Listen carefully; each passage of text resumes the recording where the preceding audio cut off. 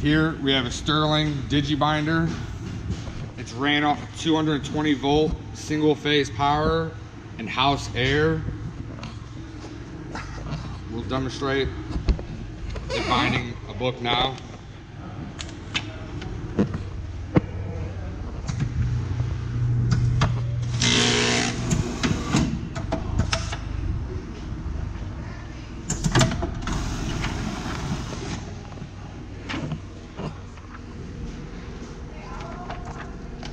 Do another one. Put your cover in here.